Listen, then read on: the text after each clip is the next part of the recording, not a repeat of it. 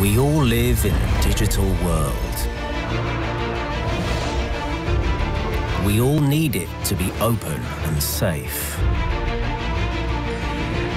We all want to trust. and to be trusted. We all despise control. and desire freedom. We are all united. Good morning. Let's try this again. Uh, thank you for joining us today at the main session on economic and social inclusion. صباح الخير My name is Courtney شكرا أنكم معنا في الجلسة الرئيسية اليوم على المحور الاقتصادي والاجتماعي أنا عضوة آه، مجموعة الاشترية Internet Governance. ومسؤولة أيضا عن وسائل الإعلام والصحافة. 100% were actually سعيدة جدا بأن أشرف على هذا المحور في جلستنا اليوم. أن centrality 34% من آه، التوصيات التي نشأت فهي في مجال آه، جلستنا اليوم وفي مجال حقوق الإنسان. آه، لذلك آه، فلنفكر بأي أسلوب آه، ندخل إلى هذا الموضوع خلال آه، جلسات آه، الحوكمة آه، في الإنترنت. نحن الآن في مرحلة التحضير للقمة.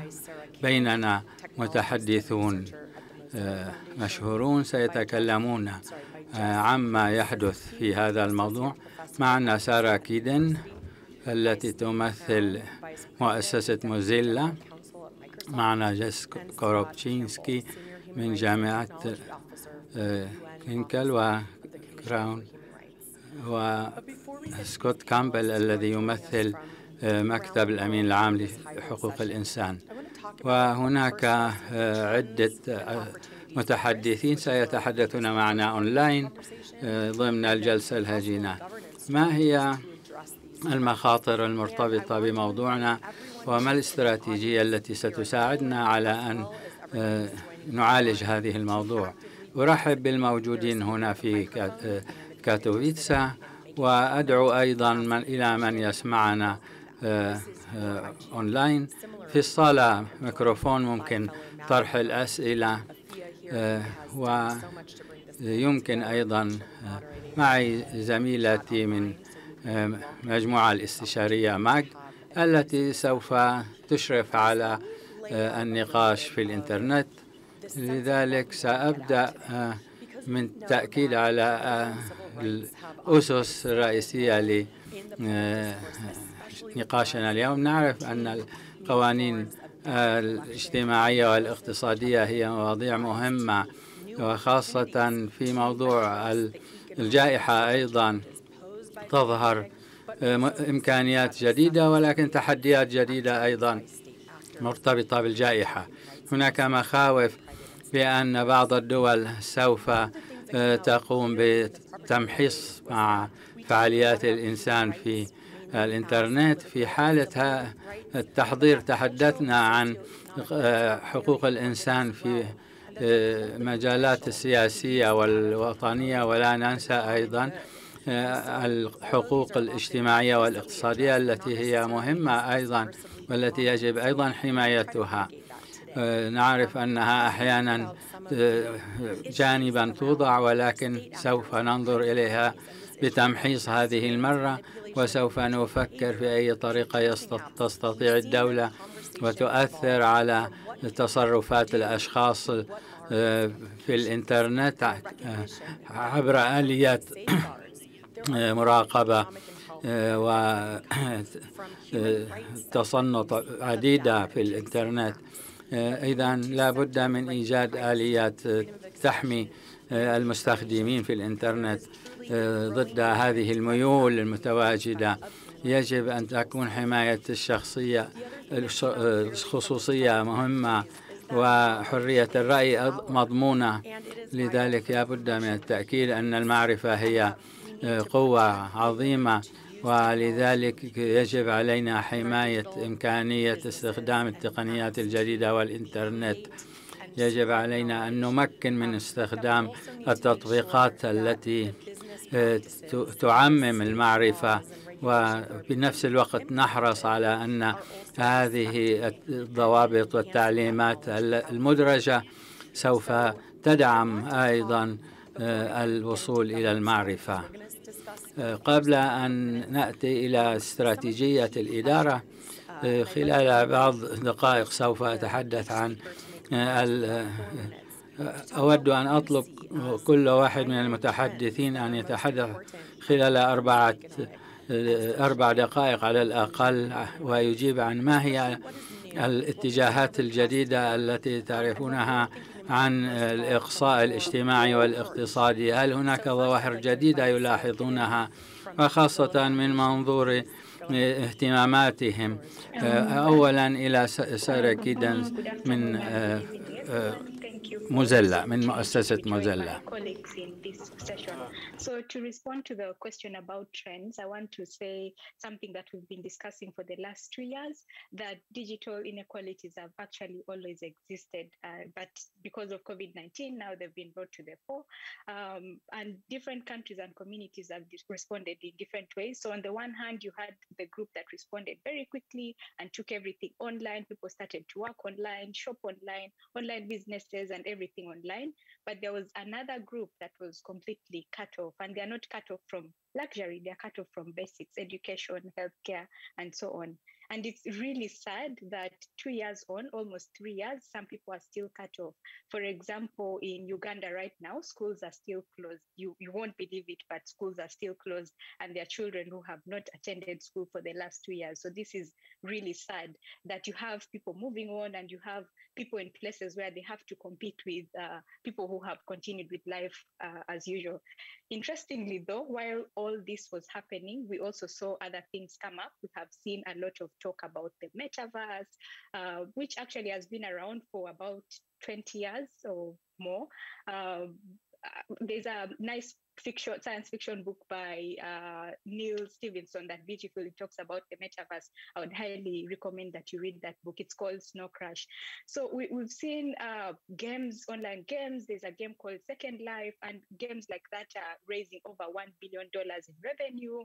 We have seen people buying virtual homes, apparently, or avatar online also needs a home and these homes are in the millions of dollars. We've seen virtual fashion shows from gucci uh, i think it was called gucci garden or something like this and people are buying virtual bags for 4000 5000 6000 dollars uh, like all these things are happening. And my worry is that if this is the reality we are choosing to live what does it mean for people without access to basic services?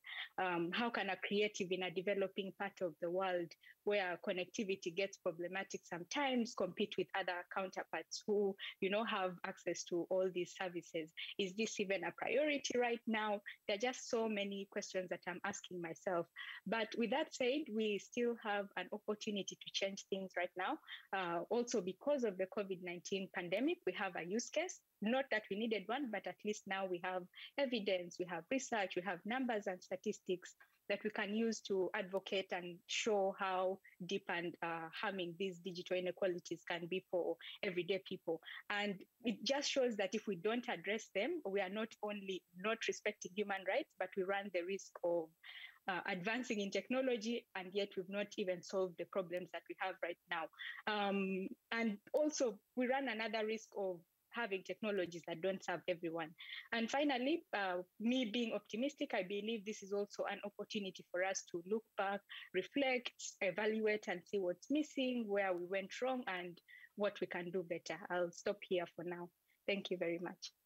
Thank you very much, Sarah. You know, the, the, the distinction between the luxury goods and the very basic uh, goods that have really, I, I think a lot of us knew that was happening, but the pandemic, as you rightly note, has just exemplified that differential and that basic connectivity is at the root of فجائحة كورونا فيروس جعلت هذه الفروقات أكبر وأكثر بروزا وأما الآن فأسأل أنا ممثل عن شركة مايكروسوفت ستيف كراون وهو نائب رئيس الشركة ونائب كبير المستشارين لهذه الشركة وهذه هو يمثل الشركة التي تتصرف بأكبر المنصات التكنولوجية تقدما في العالم. ما هي التوجهات أو أكبر التوجهات التي تلاحظها في العالم في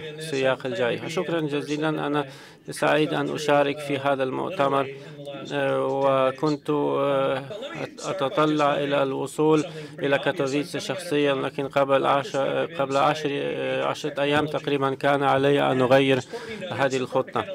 من منظوري أنا شخص الذي يعمل في إحدى أكبر الشركات التكنولوجية يجب أن نفكر وبعمق في ماهية الحالة الآن وكيف تغيرت الأمور. نحن نرى أن هذه التوجهات التي نواجهها الآن هي كانت موجودة في العالم منذ فترة هناك كبرى الشركات التكنولوجية والإنترنت العالمي وكبرى الشركات والمؤسسات الموجودة في هذا المجال تحاول الاحترام لحقوق الإنسان والتعاون مع مكتب الأمم المتحدة لحقوق الإنسان حيث سكوت موجود وهناك حوار قائم بينها وبين كبرى الشركات التكنولوجية وترغيبها على الالتزام بهذه القواعد واللوائح العالمية. وأنا رأيي بأننا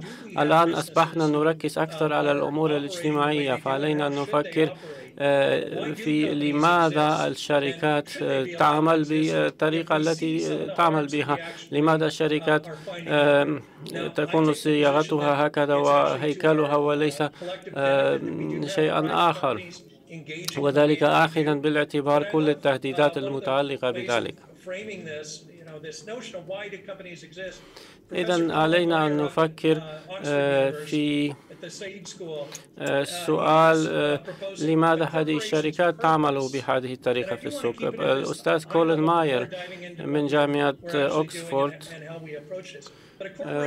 حاول الإجابة على هذه أسئلة وقال أن الشركات تعمل بهدف الربحية في كسب الأموال في سبيل حل المشاكل التي يعاني منها الناس في العالم. فالشركات طبعا أساسها ربحي ومجدي وهدفها كسب الأموال ولكن لا يمكن أن يكون هو الهدف النهائي لأن علينا أيضا أن نفكر في حل المشاكل التي يعاني منها الناس. شركة مايكروسوفت وغيرها من الشركات التكنولوجية تعمل بهذه الطريقة. فإن تحدثنا عن الشمولية الاقتصادية فهناك فالمقاربة تغيرت الآن جراء جائحة كورونا. علينا متابعة هذه الديناميكية المتغيرة. التوقعات أصبحت أكثر وضوحا لدى المواطنين ويتم التعبير عنها بأكثر من الوضوح. كل المشاركون في هذا النظام الواسع النطاق المدافعين عن حقوق الإنسان وممثلو المنظمات غير الحكومية عليهم أن يبذلوا جهودا في طرح الأسئلة المناسبة والمشاركة المشتركة في طرح الحلول لأن الشركات التكنولوجية لا يجب أن تكون وحدها هي المسؤولة عن عن طرح الحلول. يجب علينا كلنا أن نكون مشاركين في هذه العملية. يجب أن نركز على على التوجه نحو التنمية الأكثر شمولية من الناحية الاقتصادية والاجتماعية لنتيح الوصول إلى هذا النمو أمام الجميع. وهذا يجب أن يتم في كل قارة وفي كل دولة وفي كل مجتمع مهما تحدثنا عن الأرياف أو المناطق الحضرية في الشمال أو الجنوب أو في أي منطقة أخرى من العالم كل واحد يجب أن يكون له الوصول إلى التكنولوجيات المتقدمة. وهذا تحدي لا ننسى أن هناك ملايين من الناس في كوكبنا. وهناك المعاقون وذو الاحتياجات الخاصة ويجب أن تكون التكنولوجيا متاحة لهم جميعا. تحد إضافي هو الوصول نحو الحيادية الكربونية والحد من استخدام الفحم. وجائحة كوفيد 19 تضاف على فوق ذلك فشركات التكنولوجيا تحاول المساهمة والتصدي لهذا التحدي وطرح الحلول والترويج للتعاون على المستوى العالمي من أجل مواجهة هذه التحديات. فأشير أيضا إلى أهمية دور التعليم والتربية لأن الكثير من الأطفال يعجزون عن حضور المدارس. نحن في شركة مايكروسوفت نتعاون مع شركات غير ربحية لنتيح الخدمات رقمية إلى الأطفال المعانين من الإبعاد أو النبذ الاجتماعي والمعزولين. فأعود وأكرر ضرورة التعاون الأوثق المتعدد الأطراف الذي تنشغل فيها الحكومات والقطاع الخاص ومن يمثلون أشخاص ذوي الاحتياجات التي يجب تلبيتها. نحن في شركة مايكروسوفت دائما نقطة انطلاقنا أننا ندع الإنسان في المركز في الوسط وعلى عاتقنا هذه المسؤولية ونشعرها بأن نتيح الوصول العريض لكل التكنولوجيات. هذا دورنا وهكذا نراه ونريد توسيع نطاق الوصول للإنترنت وأيضا نحاول تمكين الناس بالقدرة والوصول إلى حلول قيمة. شكرا جزيلا. كانت هذه تعليقات مهمة خاصة المواضيع المتنوعة التي ستتضمنها نقاشاتنا اليوم.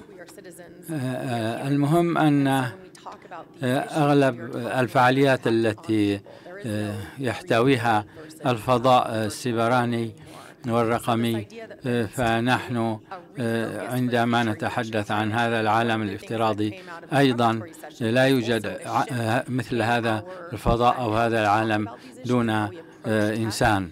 فالإنسان هو العامل الرئيسي في هذا الموضوع. بالنسبة لتغيرات المناخ و تحضيرنا للتحولات التي ستأتي. وهل هذه التغيرات هي في خدمة الإنسان أم لا؟ أود أن أتوجه بالسؤال الآن إلى جيس.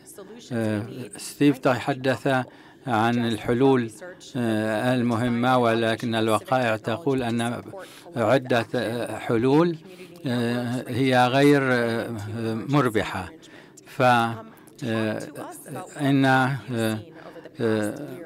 منظمتك الباحثة والفاحصة في هذا المجال تهتم بهذا الموضوع. أود أن نتحدث كيف يمكن أن نزيد الوعي وأن نصل إلى أصحاب القرار الذين يضعون سياسات جديدة كيف تلاحظين الميول والاتجاهات في هذا المجال؟ شكرا. أعتقد أن من المفيد أن نبدأ من قضية شفافية في هذا الموضوع. هذا هو نقطة انطلاق لحديثنا بالنسبة للتغيرات الإيجابية. نبدأ من ذلك أن الإنترنت قد يؤدي إلى شفافية أكبر حول عدة قضايا. عندما نتحدث أن هناك أشخاص ليس لديهم أو وصولهم إلى الإنترنت محدود فيجب علينا أن نتحدث بشفافية عن عدم المساواة في الوصول إلى الإنترنت. وإلى الخدمات الرقمية ذات الصفات المختلفة التي لها التي يوفرها الفضاء السبراني. فمثلا كيف نتحدث عن مثل هذا بشفافية؟ الشفافية وحدها لا تكفي. فعندما نتحدث عن اتخاذ القرار على مستوى الأجهزة التي ترسم سياسات جديدة فليس لدينا وعي بأن هذه قضايا هي تصل إلى أمور واضحة وبعيدة المدى. فبعض المقررين يتحدثون عن الهوة والفجوة الرقمية ويتحدثون عن قضايا تتعلق مثلا بجائحة كوفيد 19 ويتحدثون عن التحولات الرقمية ويتحدثون عن ميزانيات عالية من أجل توفير مثل هذا. فإذا بعض المقررين والمشرعين لهم وعي كبير بقيمة المشكلة وتحديداتها وأحيانا المقصود فقط أن نوصل الإنترنت إلى أماكن لم يكن موجود بها. وهي تعد قضية سهلة في البداية. إذا عند الحديث عندما أقول توفير البنى التحتية فقط غير كافية من أجل أن تصبح هذه المناطق التي لا يصل إليها الإنترنت موازية في الخدمات إلى ما هو موجود في المدن. ولكن يجب أن يكون لدينا لدى أصحاب القرار وعي بأن أي تغيير إلى الأمام في هذه المناطق فهو يساهم مساهمة كبيرة بزيادة هذا الوعي وزيادة هذه الشفافية وزيادة مستوى الوعي الموجود في لدى سكان والمستخدمين المتواجدين في هذه المنطقة. إذا يجب علينا أيضا أن نحاول بشكل متنوع أن نستهدف الأمور التي تظهر لنا في الأفق. فمسألة الشفافية والشمولية هي اتجاه جديد بالفعل وعلينا الاعتراف بمدى أهمية هذه المنصات الرقمية في توليها المساءلة وأن تعمل في خدمة المجتمع. والآن أخاطب سكوت كامبل.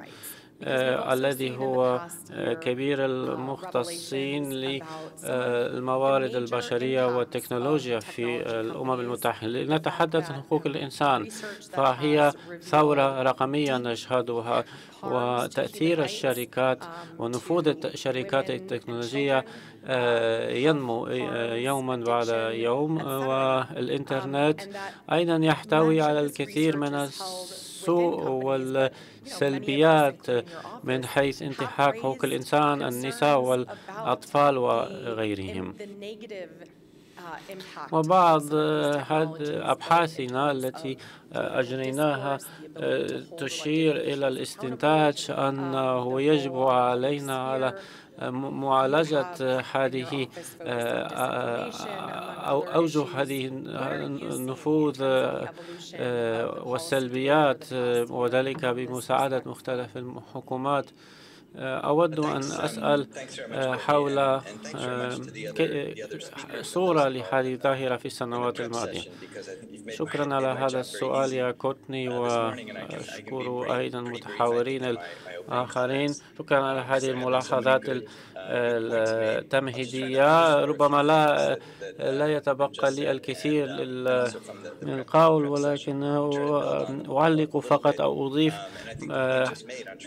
ملاحظاتي حول بعض المسائل التي طرحت. نعم الشفافية شفافية العمل شيء جذري وجوهري ولن أتوسع في ذلك بشكل تفصيلي. ولكن ربما أحاول التعقيب على السؤال لماذا أصبحنا نحن أكثر وأكثر نحس بأننا مهددون بما يحدث بالإنترنت؟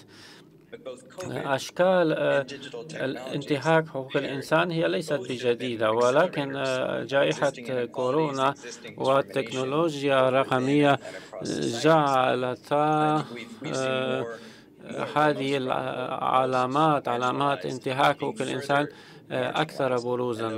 ووضوحا نحن نرى مجموعات أكبر وأكبر أصبحت مهمشة ويتم تهميشها أكثر.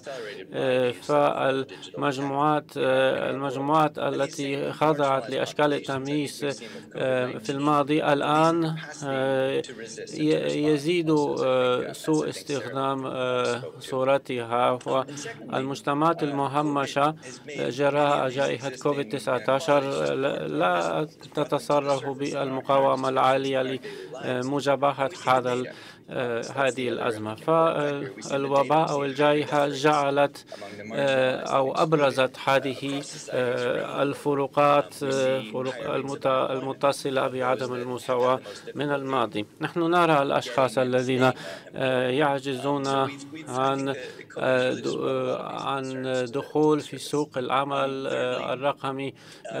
هذه التخوفات لقد كانت موجودة من قبل ولكنه لكنها أبرزت الآن جراء الجائحة. فيما يخص حقوق الإنسان والتهديدات المتعلقة بذلك. فهذا شيء جدا مهم بالنسبة لنا لأن حقوق الإنسان أمر جوهري في كل الأنظمة الديمقراطية.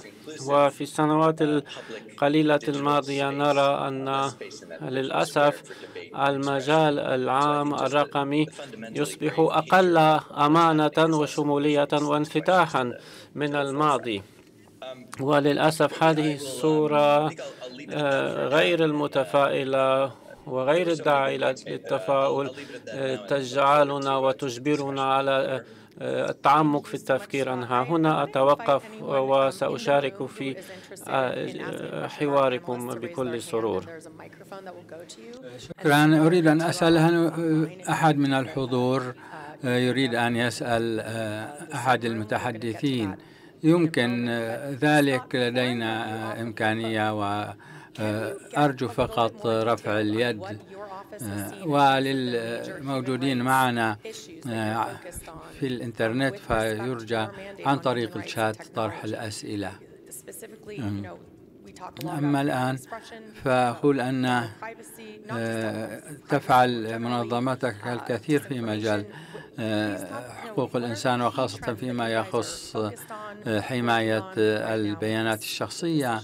لذلك أود أن أسأل هل تستطيع أن تتكلم بالتفصيل عما تفعلونه؟ شكرا. بالطبع هذه مجال وميدان نعمل به يوميا. نرى هنا إمكانيات جديدة. وترويج مثلا للأنظمة الشمولية في الإنترنت. فيجب علينا أن نعتني بذلك.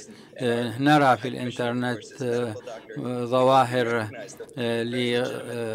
لأفعال خطرة ويجب أن نعتبر أن هذا بالإضافة إلى الأمور الصحية المتعلقة بالجائحة فإن بعض أمور في حقوق الإنسان هي محدودة لذلك أن الاتجاه الخطر الذي نراه أن كثير من بالإضافة إلى المخاوف الصحية فإن في الإنترنت يتم بشكل ديماغوجي وبحركات عديدة إلى تشويه الصورة وخاصة تضليل وجهات النظر المحكاة أحيانا أيضا إعلان البيانات من خلال التقنيات الجديدة هناك إمكانية للوصول إلى هذه البيانات الشخصية واستخدامها بشكل سيء. وهناك أيضا آه، آه، مخاطر ومجازفات في مجالات آه، عديدة يكون لها تأثير سلبي على حقوق الإنسان. لذلك لا بد من أن نقوم بتأثير طويل المدى حول آه، توسيع حقوق الإنسان وأهميتها آه، سارة تحدثت وستيف تحدثا عن التعليم والثقافة. آه، إذا بالتعاون مع القطاع الخاص نحاول أن نطغى على ظاهرة الإقصاء الرقمي و هذه حالة لا نستطيع أن آه، نستخدم آه، التعليم وغيرها. أرى أن شخصا ما آه، في الصالة يريد الحديث فلنسمع أن نبدأ من إعطاء سنة مثلا اليوم ظهر تقرير يخص الصحفيين الذين المسجونين من جراء عملهم. وهو وهم 293 شخص. فلنتذكر أن أن حق التعبير والرأي هو أحد الحقوق الرئيسية في الديمقراطية. وهو ضمانة لسلام دائم. وهنا في عديد من المناطق في العالم يوجد تعصب وتطرف. وهناك شركات كبيرة تقوم بإدارة هذه آه، المناطق وتؤثر على القرار الذي نتخذه وبهذا الشكل قال ستيف أيضا. وهذا سيكون له تأثير آه، مسيء على الوسط العام. والسنة الماضية أظهرت ذلك وخاصة فحوصات داخلية في مجال الفيسبوك مثلا. عرفنا أن إذا كان لدينا إمكانية الوصول إلى هذه البيانات وهذا يرتبط بقضية الشفافية. قبل أن نركز على ذلك فأريد أن أعطي الصوت لأحد المستمعين. صباح الخير. شكرا على إمكانية إعطاء طرح الأسئلة. أريد أن أسأل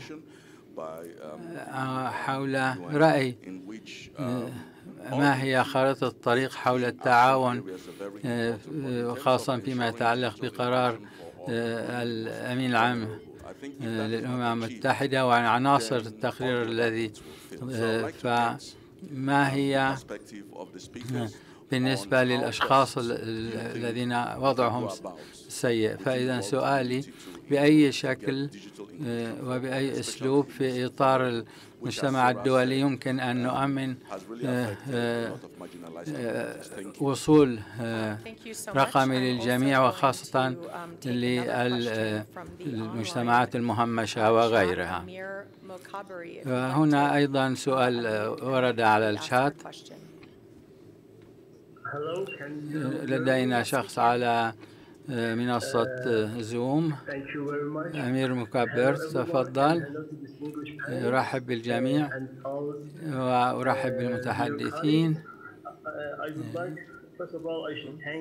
والمشاركين وخاصة أريد أن أشكر بالدرجة الأولى الحكومة البولندية على تنظيم هذه القمة قمة منتدى الحوكمة حوكمة الإنترنت. أشكر أيضا آه، أننا نستطيع اللقاء في هذه الجلسة. اسمي أمير مكبري. أود أن أطرح سؤالا يتعلق بحقوق الإنسان في الفضاء السيبراني والرقمي. نحن لدينا شبه حرب في سيبرانية وخاصة تهديدات في الفضاء الرقمي. ونعرف أن هناك حوادث كثيرة يحصل تحصل في عدة دول. ونعرف أيضا أن إحدى الحلول هي مقاطعات المقاطعة والعقوبات الرقمية. فمثل هذه العقوبات أيضا ممكن أن تكون مسيئة خاصة خلال جائحة كورونا فيروس فمثل هذه العقوبات ممكن أن تتعرض لها مناطق كبيرة في الفضاء آه، الرقمي وخاصة استثمارات في البنى التحتية آه، الرقمية وحلول رقمية مختلفة. وصول إلى الشبكة وهي أيضا قيم أساسية. يجب أن تكون متوفرة ومحترمة. إذا كان علينا أن نحقق التطور المستدام. لذلك نرى أن هناك حقوق لا تمس حق النمو والثقافة والعمل والنشاط الاقتصادي وبالنسبة لمشاكل الوصول إلى الإنترنت فإن بعض الجامعات لديها صعوبة في الحصول على على بيانات علمية. في بالإيران مثلا هناك الشركات التي تعمل في الإنترنت عندها مشاكل في يمكن تحديد لها الوصول إلى بعض آه، المنصات كجوجل وغيرها مرتبطة ذلك بالعقوبات التي تخص هذه البلاد. فسؤالي هي فكيف يمكن للمجتمع الدولي أن آه، يتعامل مع هذه القضية؟ هل يكون لدينا معايير ومقاييس تتعلق في مثل هذه العقوبات التي أيضا تؤثر على المستخدمين المنفردين وليس في الدول بشكل عام التي تكون موجودين فيها. فإذا هذه العقوبات الرقمية هي نوع من الضغط على هذه الناس وتدعو إلى التمييز أيضا. مثل في الوصول إلى الإنترنت فكيف يمكن أن نعالج هذا الأمر؟ أظن أنه علينا أن في إطار هذه التوصيات من آه، هذا هذه القمة أن نعالج هذا الأمر. شكرا لرئيسة الجلسة التي سمحت لي أن بالكلام. شكرا. شكرا جزيلا على هذا الصوت. بالفعل ملاحظاتك آه، مثيرة للاهتمام وتتعلق بمسألة هامة. نتحدث عن العقوبات ولا ننسى أن العقوبات آه، هي شيء يفرض على دولة معينة آه، بعمد وبقصد معين وليس لي بسبب خلل فني ولكن وراء العقوبات قرارات محددة. لذلك يجب أن نأخذ بالاعتبار طريقة معالجتنا لمسألة العقوبات التي أيضا قد تحد تحد من حقوق الإنسان نوعا ما مثل حرية التعبير في الإنترنت. أرجو من متحاورين أن يجيبوا على هذه الأسئلة. السؤال الأول الذي كان يخص النبذ الاجتماعي أو الإقصاء الاجتماعي والسؤال الثاني حول العقوبات الرقمية. أشير أيضا إلى جانب آخر ويخص ذلك دور قمم آه، حوكمة الإنترنت ما هو دور آه، دورنا في آه، هذه القمة فيما يخص الترويج لحقوق الإنسان. سارة أولا. شكرا آه، على هذه الأسئلة. لأبدأ في التعليق على الخدمات الأساسية. وأعود وأكرر أن مجال التربية والتعليم عبارة عن أنماط وأساليب وعناصر مختلفة يجب ركبها أو تركيبها مع بعض. نحتاج إلى خدمات عالية الجودة ومنخفضة الثمن وسهلة الوصول فيجب أن يتلاعب كل ذلك مع بعض.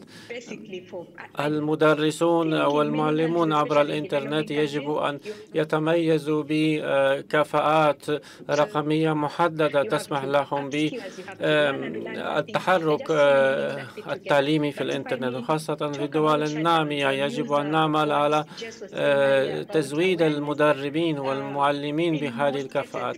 فكأنه كأنها صورة مكونة من عدة عناصر متنوعة. فيما يخص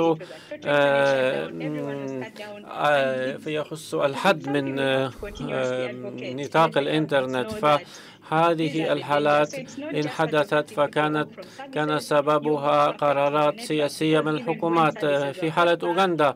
تم قطع الجميع عن الإنترنت وفصل الجميع ويجب تجنب مثل هذه الحالات كي لا نمنع الوصول أمام أي واحد للخدمات الأساسية. فعلينا توعية الناس وبناء الوعي والتأثير فيما يحدث بهذه الطريقة. هذا وأنتهي هناك ملاحظتي الأولى. شكرا يا سارة. أما الآن فسكوت فالسؤال المتعلق بالعقوبات. في سياق هذا النقاش وأيضا أرجو أن تتقاسم تتقاسم معنا بالدور الذي قد يلعبه منتدى حوكمة الإنترنت في مكافحة انتهاكات كل إنسان. شكرا. الأستاذ من غامبيا طرح سؤالا ممتازا لأن هذا السؤال أشير لقد أشير فيه إلى أهمية الدمج وإدراج الأشخاص المتواجدين في مواقف صعبة ومهمشين. يجب اتباع نهج مقصود ومخصص ويجب التحقق مما إذا كان حقوق الإنسان يتم احترامها ويجب زيادة عملية القضاء على الإقصاء الرقمي وهناك دور للقطاع الخاص كما ذكرها ستيف والقطاع العام الإدارات العامة. وكلتا المجموعتين يجب أن تتعامل مع بعضهما البعض في الإنترنت ويجب الأخذ في الاعتبار العقبات أو العواقب الناتجة عن ما نقوم به بالإنترنت في سياق حقوق الإنسان لا ننسى أن كل عمل بالإنترنت وكل نشاط وكل بضاعة تطرح في الإنترنت قد تكون لها التأثير أو الأثر الإيجابي أو السلبي فيما يتعلق بحقوق الإنسان يساعد في القضاء على التهميش أو يعزز التهميش. فهكذا نستطيع أن نعمل على زيادة الشمولية. فيما يخص دور قمم حوكمة الإنترنت فيمكن القول الكثير عن ذلك لأن مسألة حوكمة الإنترنت والإدارة به موضوع شامل. هناك عمل على صعيد وطني ودولي يجري في سن القوانين التي من شأنها تسهيل العمل في المجال الرقمي. هناك مسودات قوانين. واللوائح. وقد تسبب أو تتسبب هذه اللوائح أو على الأقل بعضها في تجزئة المجال الإنترنتي أو تتسبب في أي مخاطر أو تهديد. نحن في المنتدى من من صلاحياتنا شق الطريق وإرشاد أصحاب المصلحة إلى اتجاه إلى اتباع اتجاه معين وأن نعمل على زيادة مدى الانفتاح والحرية في الإنترنت. كما قال ستيف يجب أن لا ننسى أن أن تكون حقوق الإنسان دائما في المركز والوسط. وشكرا. هل um, تسمعونني؟ فالآن أخاطب ستيف آه، لقد شددنا على أهمية الشمولية. ومن الصعوبة ما كان نتحدث عن الشمولية لمن يقيمون في دول مشمولة بالعقوبات؟ فما رأيك أنت في العقوبات من وجهة نظرك أنت آه، بصفتك ممثلا آه، عن آه، للشركة الأمريكية كيف تنظر إلى ذلك؟ أنا شكرا على هذا السؤال لأنني أنا بالطبع سوف أتحدث آه، حسب تجاربي التي جمعتها خلال عشر سنوات وأنا أعمل في مايكروسوفت آه، أنا أيضا اهتممت بهذا. يجب أن نقول بأن هناك قانون دولي هناك دبلوماسية هناك علاقات دولية هناك علاقات ضمن الأمم المتحدة وكثير يتم في هذا المسرح فليس الشركات من تقوم بذلك. نحن لسنا فوق القانون. نحن نعمل ضمن إطار القانون في نحن في مايكروسوفت نحترم هذا القانون. هذا لا يعني أنه ليس لدينا آه، تأثيرات آه، آه، لجمع اللوبيات فلنا مثلا ضمن في الكونغرس في الولايات المتحدة أو ذلك. ولكن يجب أن نقول أن لا تستطيع شركة أمريكية تقول لدولة لحكومة دولة أخرى ما جاء عليه أن يفعل كيف عليهم أن يعاملوا مواطنيهم. نحن ليس لنا مثل هذه السلطة. نحن نستطيع القول أنه نريد أن تكون مثلا منظمة حركة حركة لهي مقاطعة دولة معينة لأن من أجل مساعدة مواطني تلك الدولة. نحن ليس لدينا مثل هذه السلطة. نحن نعمل ضمن القانون ولكن هذه الفعاليات التي نقوم بها يجب أن تكون مسؤولة.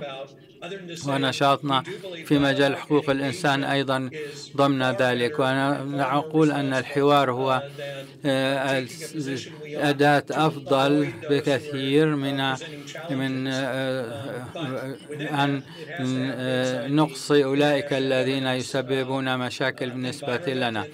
لا نستطيع أن نغلق أعيننا ولا ننتبه إلى هذه الأمور يجب علينا أن نحل الأمور حسب الحوار. ولذلك آه، مسرح الأمم المتحدة هو جيد لمناقشة مثل هذه الأمور والانخراط بهذه النشاطات والنقاشات وبذلك يمكن القضاء على الإقصاء حتى في مجال الفضاء السبراني والرقمي. ونحن نروج للأمن في هذا. نعرف أن الوضع ليس مثالي وهناك الكثير لفعله. كلمة الأخيرة تقول أن موضوع مقاطعة آه، آه، وآليات آه، منع بعض الخدمات في الإنترنت. أعتقد هنا تحدثت مع بهذا الشيء مع سكوت في هذا الموضوع. هناك نقاشات في إطار الأمم المتحدة حول هذا الموضوع. بعض القوانين هي مؤمنة لنا ومضمونة ومن بينها حق أن لا يتم التصنط علينا بدون الرجوع إلى القانون. هذا القانون ليس دائما محترم. يجب أن نفكر كيف يمكن أن نتجنب مثل هذه التهديدات والخطورات وكيف علينا أن نتفاعل مع هذه الأمور. هنا آه، من المهم أن نؤكد آه، عن الشفافية التي ذكرت هنا. فكل القرارات المتخذة يجب أن تكون بشكل شفاف وعندها ستكون مسؤولة وأفضل. شكرا يا ستيف على هذا التعليق الشفافية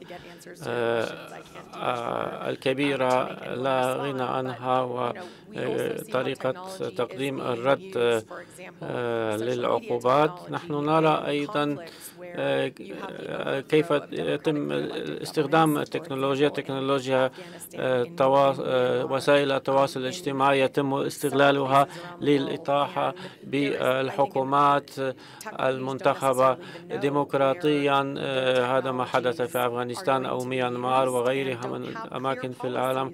ومن من الصعب القول كيف ما هي السياسات التي يجب على شركات التكنولوجيا أن تتمسك بها للصمود لنسمح. صوت من الجمهور. أنا ممثل عن جمرة تكنولوجي وهي شركة بريطانية للتكنولوجيا. وسؤالي يخص المسؤولية الاجتماعية للشركات Corporate Social Responsibility. فكيف يمكن لمنتدى حوكمة الإنترنت مساعدتنا؟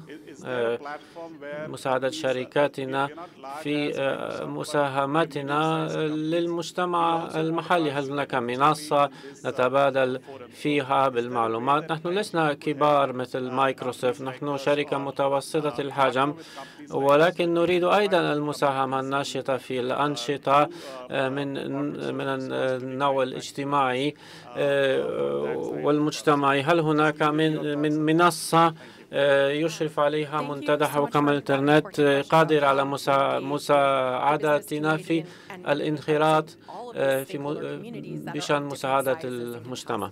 شكرا على هذا السؤال. المتعلق بنشاط CSR المسؤول المساعدة المسؤولة اجتماعيا هناك أيضا سؤالان ظهر في الشات للزوم سؤال واحد لسكوت هل جائحة كوفيد 19 زادت عملية التصنت سوءا أو أبرزت السلبيات في الإنترنت التجسس والتصنت بالإنترنت يصبح عنصرا هاما بشكل متزايد في مناقشاتنا لأنها ظاهرة تحد من حري من الحريات الأساسية في الإنترنت. وحقوق الإنسان. الإعلانات المستهدفة والتجسس في الإنترنت أو التصنت هي والتتبع هي موجودة في الإنترنت. لا سؤال ثاني لا نطرحه فيا جس عندما نتحدث عن ظاهرة التتبع والتجسس في الإنترنت فما يمكننا العمل في سياق توسيع الوصول الإنترنت. ما يمكن العمل كي لا نزيد هذه الظاهرة سوءا. شكرا على هذا السؤال ولكنه صعب. وأظن أنه ونحن في عصر الأزمة. من الأسهل علينا القرار بمنح البيانات الشخصية للجهات الحكومية موقعي وبيانات الشخصية عناوين الاتصال بي وفي حالة الطوارئ. هذه المعلومات الحرجة الناس في حالة الأزمات يتقاسمون بها بشكل أسهل من أي وقت مضى.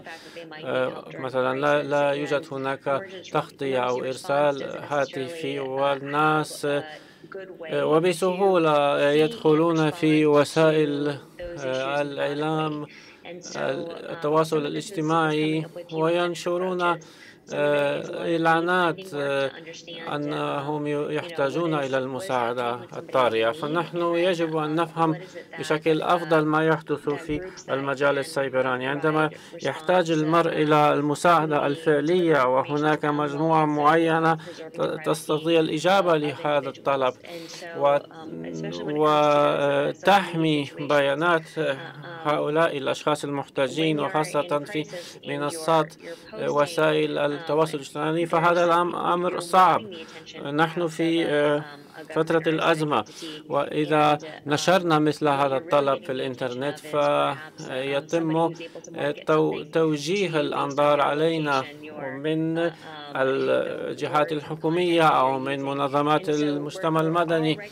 آه، هذا مهم. هذه الإشارة إشارة إشارة آه، الطلب المساعدة فيجب أن آه، يجب إيجاد هذا التوازن المناسب فيما بين رغبتنا في وصول طلب المساعدة إلى الأطراف المعنية ومن نفس الوقت آه، يجب أن نحافظ على خصوصياتنا ونحمي بياناتنا فهذا الجهد. يجب إلى آه، الانتباه إليه لأن ليس فقط الشركات التكنولوجية يجب أن تعني بذلك ولكن أيضا الحكومات والمراكز الأكثر حيادية ومراكز بحثية.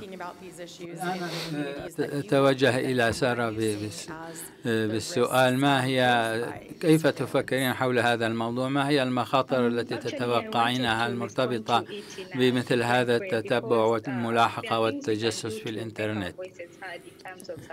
أعتقد آه، أننا في بإمكاني بإمكاننا أن نفعل شيئا.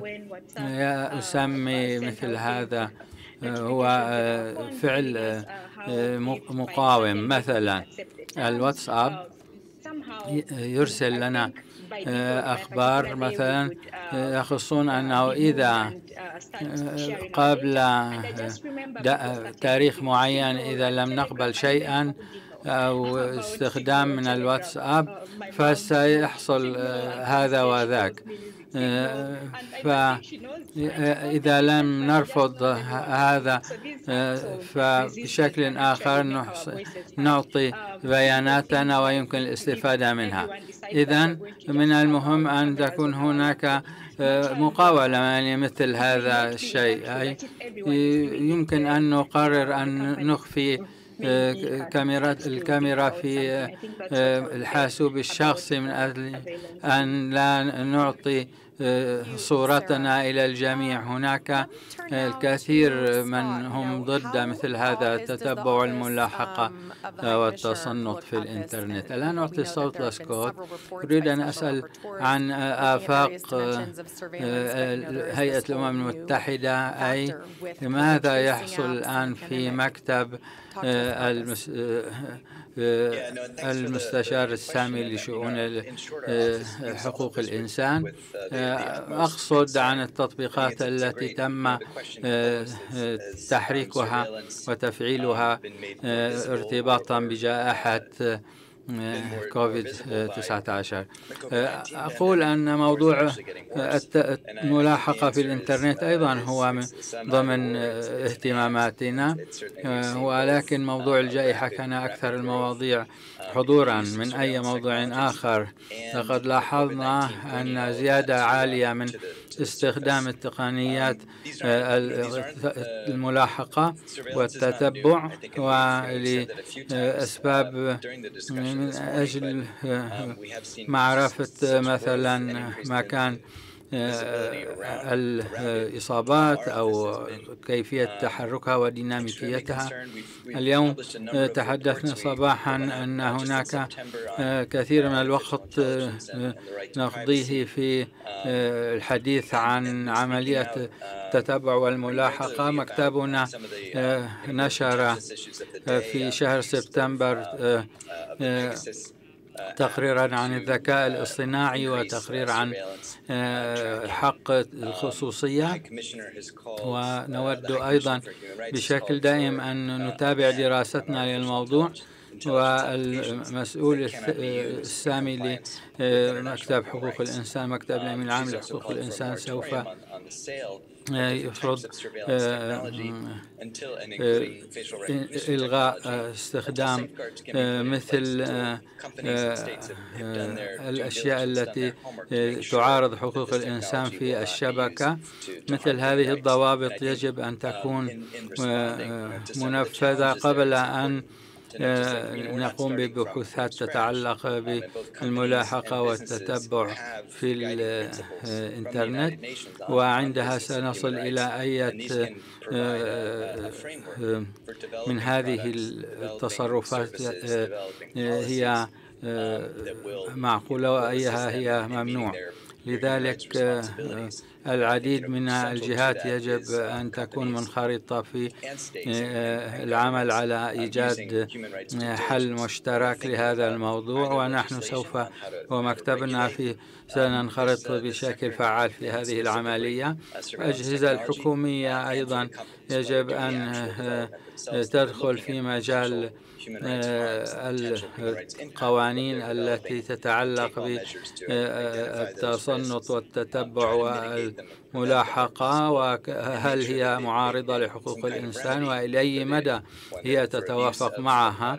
وإذا كانت هناك أي تعارض فيجب أن نوجد حلول نعرضها في إيجاد هذه الأمور. شكرا يا سكوت. ملاحظات مثيرة للاهتمام وأشير إلى اثنتين من منها نتحدث عن التعليمات والإرشادات وليس عن اللوائح القانونية أو بنود اتفاقيات. لا ننسى أن التكنولوجيا بحد ذاتها ليست ما يؤدي إلى انتهاك حقوق الإنسان. ذكرت قبل ذلك عن اتفاقية تخص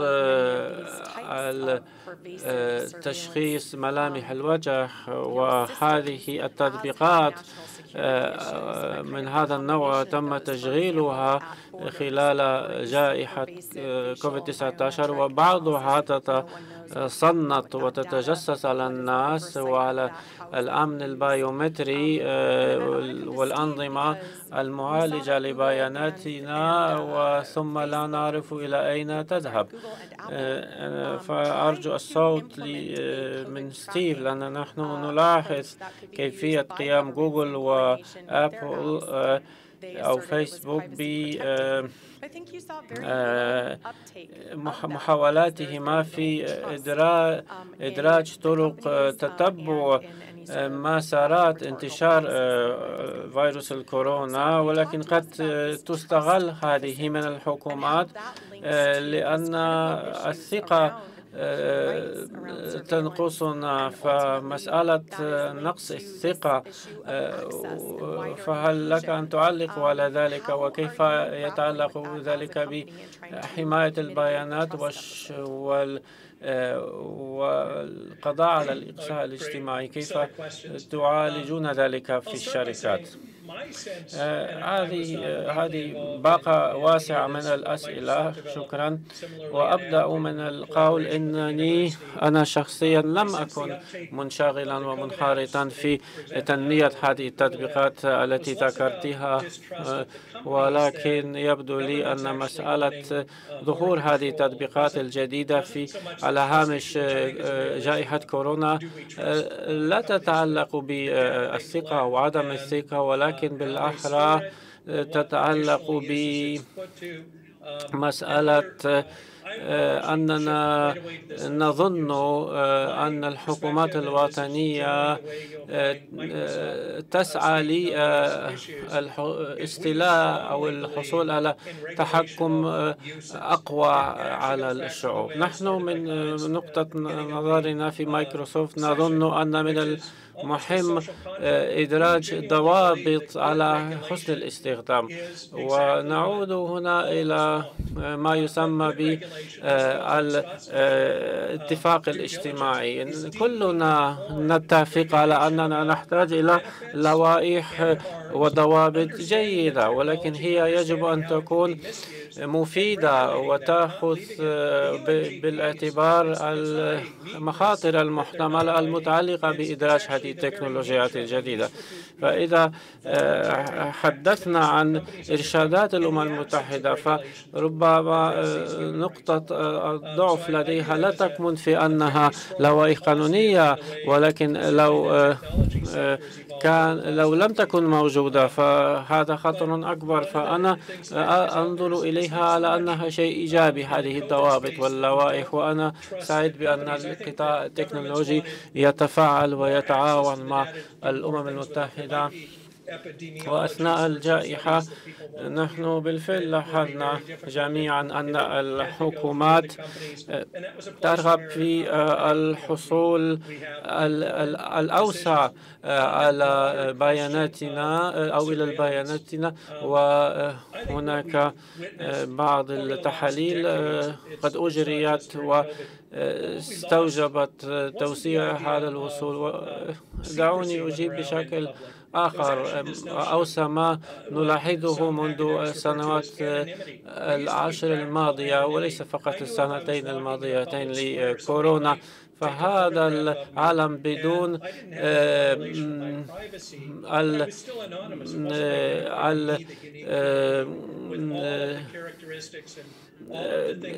بدون تعريف الهوية ذهب وانتهى. أنا إذا مشيت في الشارع وتم التقاط صورة لي ففي الماضي لم يكن ذلك شيئا إلى التقاط صورة واحدة عشوائية أما الآن فهذه التكنولوجيات تمنعنا من أن نكون مجهولي الهوية أو الأصل في الفضاء العام. فالكثير منا لا يحبون ذلك. أنا لا أستخدم أي شبكة من التواصل الاجتماعي لأنني أحرص على الحفاظ على خصوصيتي ولا أريد أن أتقاسم بمعلوماتي وبياناتي مع أشخاص عشوائيين. لا أريد أن يتم امتصاص بياناتي في هذا الفراغ الرقمي وثم أفقد التحكم بها.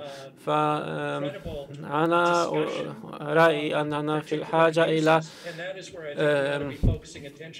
حل ذوي مصداقية عالية ونقاش موثوق به حول المليء بالمعرفة حول الفضاء الرقمي قبل أن نقوم أو نتولى عمل إدراج هذه اللوائح القانونية التي سوف نفرضها على الآخرين.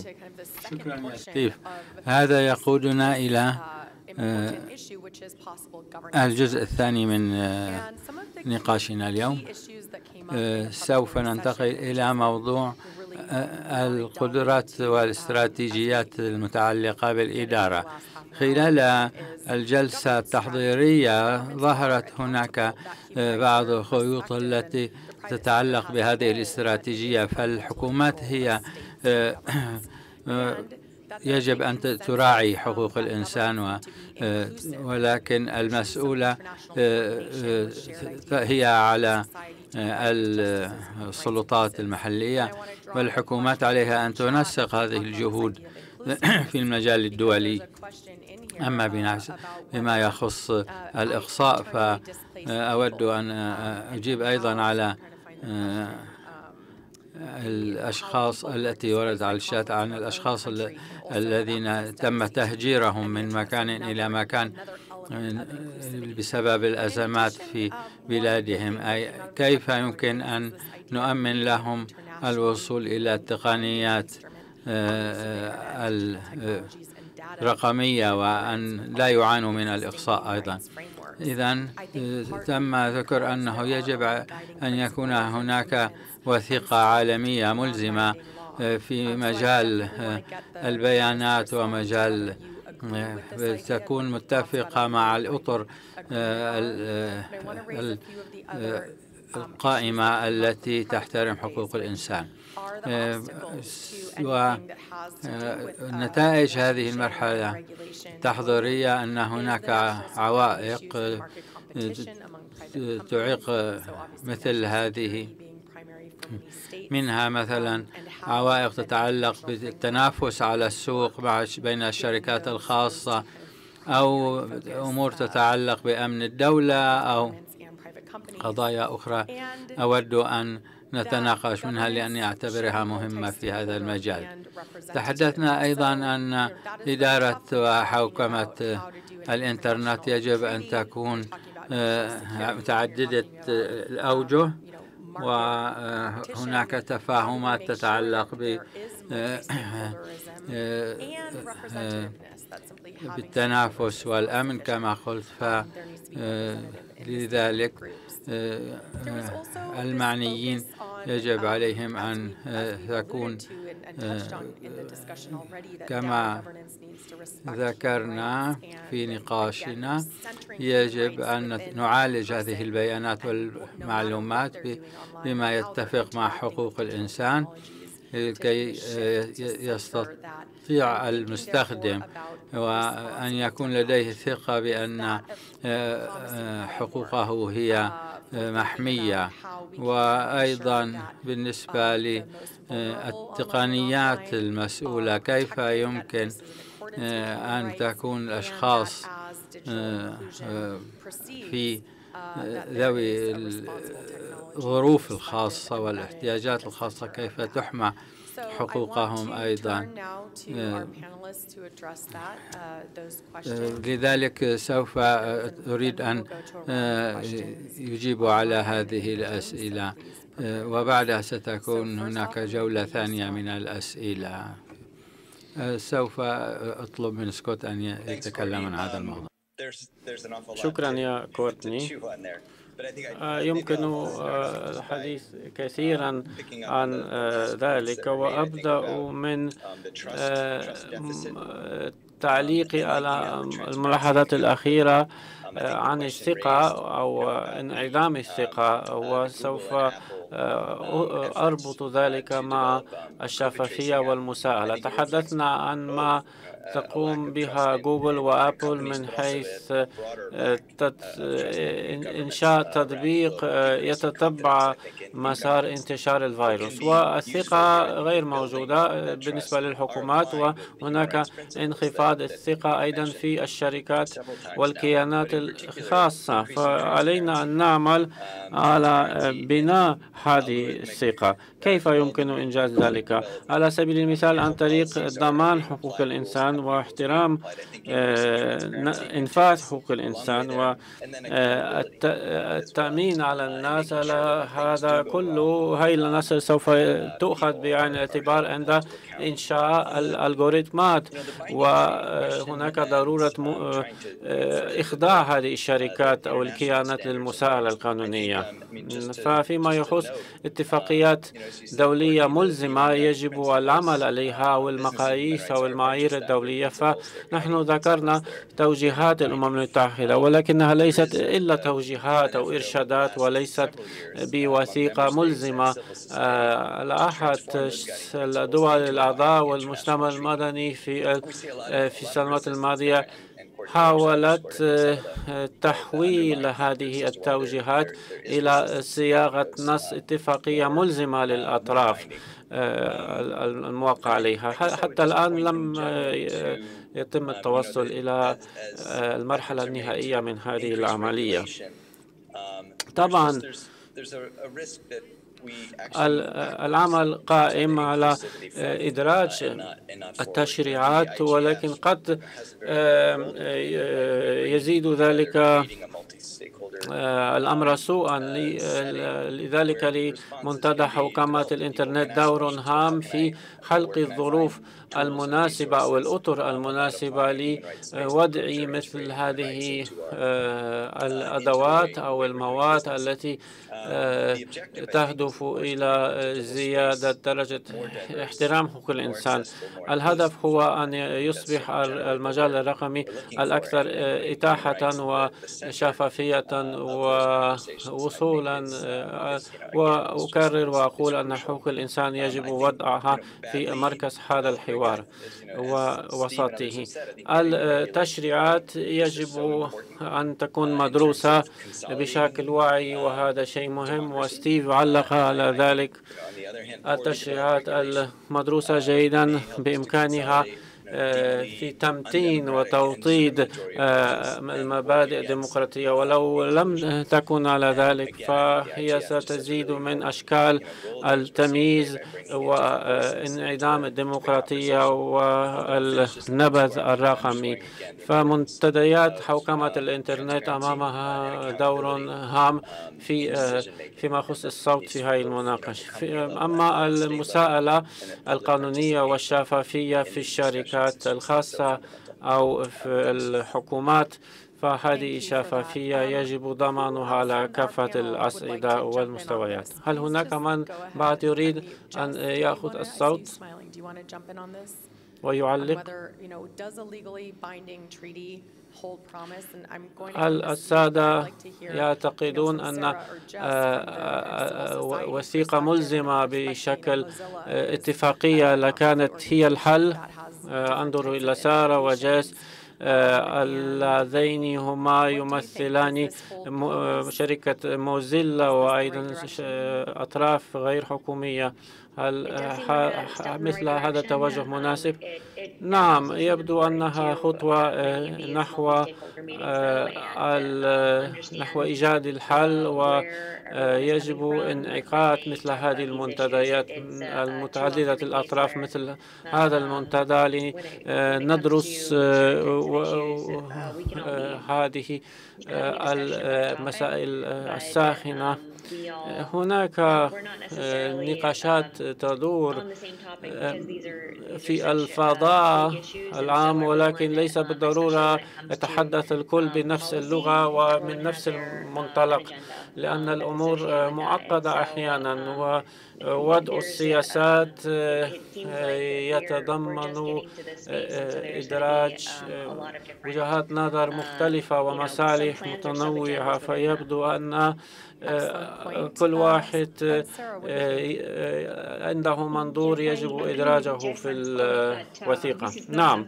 يا آه، أنا آه، وأشاطر الريجاس الأمور تتطلب نهجا متنوعا ليس على الشركة الواحدة أو مجموعة واحدة من الناس أن أن تحول هذه المشكلة. كل الأطراف المعنية يجب أن تساهم في هذا العمل التشريعي وهذه المقاربة المتنوعة الأطراف مرجوة ضمن ال IGF ولكن أيضا بالمفهوم الأوسع للكلمة علينا ضمان هذه المقاربة المتعددة الأطراف على كافة الأصعدة خلق إمكانيات آه، الجديدة. صنع تكنولوجيات جديدة وحديثة يجب أن تشمل آه، جميع الأطراف المعنية كي آه، كي تأخذ التكنولوجيات الجديدة الناشئة في عين الاعتبار مصالح الجميع وتستجيب لاحتياجات المجتمعات المحلية. شكرا جزيلا. أعتقد أن هذا آه، هذه مقاربة مشوقة. آه، بقي لنا عدة دقائق. آه، عندي أشخاص في الصالة يريدون أن يسألوا. وهناك من مدغشقر من مركز كازنا هل الذكاء الاصطناعي يساعد في حماية حقوق آه، المستخدمين أم بالعكس؟ قبل أن آه، يجيب المتحدثين فليعطينا ستيف رؤية في القضايا السلبية والإيجابية في مجال آه، حقوق الإنسان. أنا من الباكستان وأريد أن أسأل أن أحيانا أثناء جائحة الكورونا فيروس آه، بدون إنترنت لم يكن هناك آه، آه، حل آخر. فمن أجل العمل مثلا من أجل التعليم كان ذلك. فلذلك في نفس الوقت ارتفعت ارتفع عدد الهجوم في الفضاء السبراني. أيضا ليست في بعض الدول آليات تحمينا من هذه الفعاليات. فالإجرام بالإنترنت هي إجرام عالمي عابر للحدود. إذا ليس لدينا إمكانية في الدفاع عنه. هناك صعوبات كثيرة حتى في جمع الأدلة ضد ذلك أو هناك صعوبة في جمع هذه الأدلة من المشغلين. فإذا ماذا يمكن أن يفعل؟ الأوساط المتجمعة في منتدى حوكمة الإنترنت. لدينا أيضا سؤال آخر لدينا سؤال من الصلاة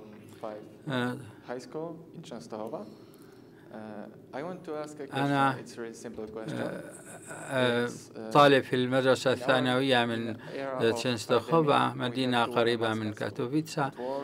عندي سؤال في في يوم الجائحة. في المدرسة يجب علينا أن نرتدي الكمامة في كل المناطق العامة. وفي المدرسة أيضا الأساتذة والمعلمون يطلبون منا أن نرتدي هذه الكمامات. وغالبا ما نقول أن هذا هو اعتداء على حرياتنا الشخصية. هل هذا حقيقة هو أم لا؟ هذا طبعا لا يخص الموضوع الذي نتكلم عنه ولكن شكرا على السؤال. سوف ممثلي الشباب يجيب عليه. في الختام لتلخيص ما قلنا. أتمنى أن تسألوا أن تجيبوا عن الأسئلة. مثلا هل نريد ضوابط خاصة فيما يتعلق بالتتبع والملاحقة والتصنت في الإنترنت. لدينا خمس دقائق فقط للإجابة عن هذه الأسئلة. ولكن هنا استنتاجات سنضعها من منتدانا بشكل عام. تفضل يا ستيف ما هي وجهة نظرك ومقاربتك بالنسبة للذكاء الاصطناعي في مجال حماية حقوق الإنسان. شكرا. باختصار أقول أن مسؤولية التقنيات نحن في مايكروسوفت نهتم بهذا الموضوع. نريد أن أن تكون التكنولوجيا مسؤولة. وعندنا مجموعة مجموعة عمل اسمها مجموعة عمل من أجل مسؤولية الذكاء الاصطناعي. وإحدى زميلاتنا هي متخصصة في هذا المجال. هذا يدل على اهتمامنا بأن التقنيات الجديدة ومنها الذكاء الاصطناعي أن تضع الإنسان في محور أعمالها وأن تكون مسؤولة. صباحا اليوم كان لدينا لقاء اشترك فيه العديد من الخبراء والمهتمين بهذه القضايا قضايا تتعلق كيف تستطيع التقنيات وكيف يمكن أن تكون خطرة ومهددة لحقوق الإنسان. دائما عندما نقول عن تعلم الآلات فهناك مخاوف تتعلق بحقوق الإنسان ولكن يجب أن نفكر هل حقيقة هذا هو سبب للتخوف؟ هل الذكاء الاصطناعي يساعد أم يهدد الإنسان؟ إذا في أوساطنا أيضا توجد مثل هذه النقاشات. أعتقد أنا أن هذه النقاشات مهمة. وهذه النقاشات يجب أن تكون ليس فقط في ضمن شركات محددة ولكن بمشاركة كل المعنيين والأوساط العلمية وأوساط أصحاب القرار وغيرها. إذا يجب أن تكون على عدة مستويات ويجب نعرف بأن بأي اتجاه تتجه هذه التكنولوجيا التي نطورها نحن. ويجب أن يكون هناك نوع من الوثيقة المعاهدة الدولية التي تلزم الجميع في مجال ما. ونحن بكل نراقب ونقدر ما تفعله منظمة الأمم المتحدة فيما يخص حقوق الإنسان. نحن ننظر إلى ذلك عن كثب ونتعلم منه الكثير. أما بالنسبة لمقاربتنا فنحن لدينا إعلان واضح يتعلق بحقوق الإنسان وهو أفضل ما تم سنه في هذا المجال. ويجب أن نركز أنه يجب أن نلتزم بما هو موجود وليس أن نركز على إيجاد أشياء أخرى. إذا عند تنفيذ وتطبيق القوانين التي نملكها هي قضية أهم وليس أن نبدأ من الصفر. نحن مع هذه الضوابط ولكن هذه الضوابط يجب أن تكون بشكل واع وصحيح وأنها تتركز على أننا سنبدأ أشياء من الصفر فقط عندما لا يكون لدينا سوابق فيها. أما عندما يكون لدينا قانون تتعلق بهذا فعلينا تنفيذه والنظر إلى ماذا لا يتم عنه شكرا جزيلا. أنا عارف أن هناك ما يلزم تعليق التعليق عليه. يا سارة هل لك أن تلخصي لنا حوارنا في مجال الذكاء الاصطناعي وحقوق الإنسان من وجهة نظرك. أنت تعملين الكثير في هذا الصدد ربما أبدأ من من أني أقول ما الذي تعمله موزيلا في مجال الذكاء الاصطناعي. من حيث المبدأ نحن نحاول الترويج للآليات آليات الذكاء الاصطناعي التي تفيد ولا تضر ولكن طبعا ما يدخل في اللعب هو الكثير من العناصر مثل الشمولية والخصوصية والثقة والأمان والحيادية ونحن نريد إعادة توجيه هذا النقاش الذي يعول على تصرفات محددة إلى الترويج النظامي